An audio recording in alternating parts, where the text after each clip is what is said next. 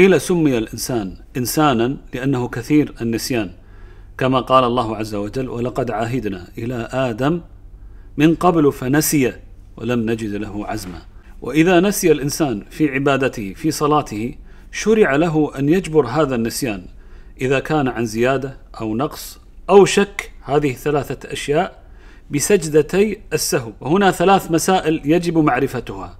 أولا صفة سجود السهو وهي سجدتان زائدتان على الصلاة.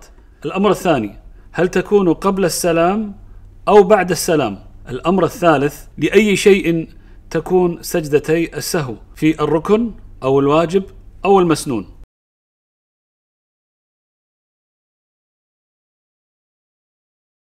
فهذا الحديث فيه أن النبي صلى الله عليه وسلم ترك الركن ثم جبر هذا الركن بأن فعله ثم سجد صلى الله عليه وسلم سجدتي السهو بعد أن أتم الركن وبعد أن سلم. قالوا وأخذ من الحديث أن الكلام لأجل مصلحة الصلاة لا يبطلها.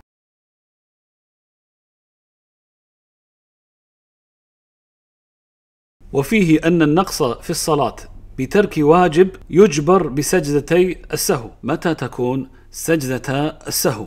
قبل السلام أو بعد السلام؟ أجاب الشيخ بن باز رحمة الله عليه في هذا فقال الأمر واسع في ذلك.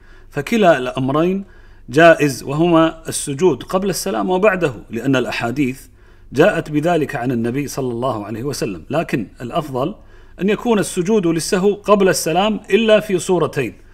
ذكر الأولى فقال إذا سلم عن نقص ركعة فأكثر. الصورة الثانية إذا شك في صلاته فلم يدري كم صلى ثلاثا أم أربعا في الرباعية أو اثنتين أو ثلاثا في المغرب أو واحدة أو اثنتين في الفجر.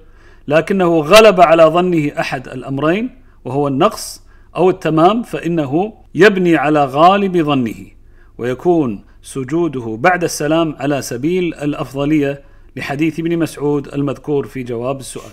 وقال بعض أهل العلم عملا بحديث النبي صلى الله عليه وسلم لكل سهو سجدتان بعد السلام فالأفضل أن تكون سجدتا السهو بعد السلام إلا في الأحوال المذكورة سابقا. والأمر كما قال الشيخ بن باز رحمة الله عليه واسع بإذن الله أما المسألة الثانية هل تجب سجدتا السهو في كل سهو أم تختص بالركن والواجب دون المستحب؟ الأصل أن السهو سجدة السهو شرعت لكل سهو فإن كان بنقصان ركن يجب عليك أن تأتي به وأن تسجد سجدتي السهو. وإن كان بزيادة الركن فحينئذ تلغي هذا الركن وتأتي بسجدتي السهو. أما الواجب فإن كان بترك التشهد الأوسط وقد قمت قياما لقراءة الفاتحة فإنك تستمر في الصلاة وتسجد سجدتي السهو قبل السلام. وإن كان بترك مسنون فقال بعض أهل العلم تستحب سجدة السهو. والله أعلم.